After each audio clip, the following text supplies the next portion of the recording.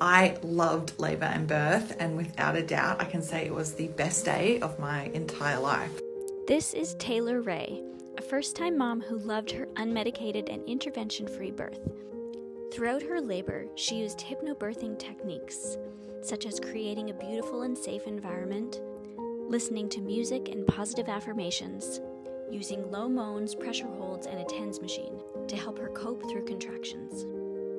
Hypnobirthing helps to inhibit adrenaline and fear and creates a state of relaxation to promote the release of oxytocin and endorphins, leading to a more positive birth experience.